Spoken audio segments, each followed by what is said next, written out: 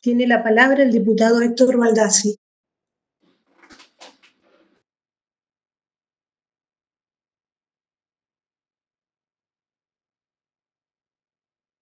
Hola. Hola.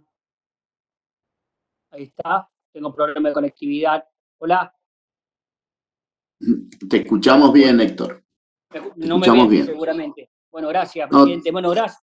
Gracias, presidente. Gracias también al ministro por, por venir y prestarse a que nosotros le hacemos preguntas para poder escuchar la, la, la, secuencia y las consecuencias que está teniendo esta pandemia que realmente nos trae muchos problemas, que realmente no hay un manual para, para lo que estamos viviendo, hay estas enfermedades sin antecedentes, trae muchos problemas todo lo que es el sector turismo, creo que es el sector que más inconveniente va a acarrear sobre, sobre esta pandemia.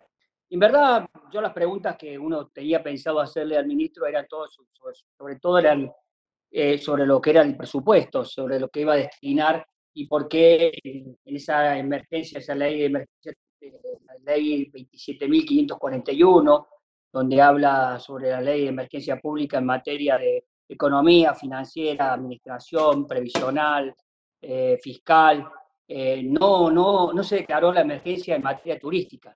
No puede ser una pregunta que le puedo hacer al ministro. Reitero, las otras fueron evacuadas en su presentación.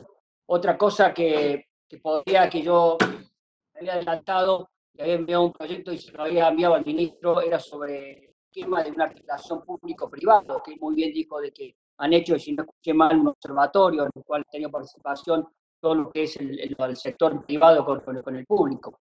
Ahora bien, si, ese sector que están trabajando pensando en el, post-pandemia, eh, si va a haber un orden de prioridad para ayudar eh, a, reactivar la, reactivar la actividad, si va a ser por, por rubro, zonas geográficas, cómo piensan poder hacer esta, esta reactivación post-pandemia.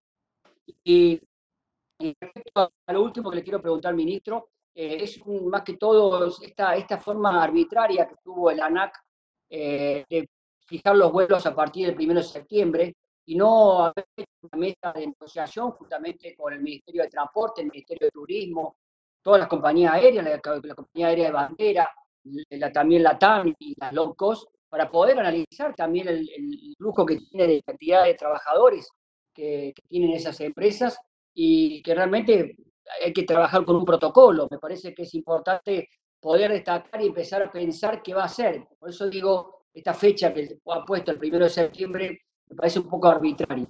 Y quiero preguntarle si él tiene acceso a tener la posibilidad de poder armar esa mesa que reúna todos estos sectores y puedan trabajar pensando eh, en qué se va a venir después de la pandemia. A ver, con protocolos o con hechos que realmente puedan tener la aerocomercial. Bueno, nada más, el ministro también quiero ir adelantando que siguiente de la Comisión de Deporte eh, esta semana, la semana entrante, seguramente lo vamos a estar invitando también a participar y a que nos cuente todo lo que se está desarrollando del Ministerio de Turismo y Deporte en ese, en ese tema. Muchas gracias.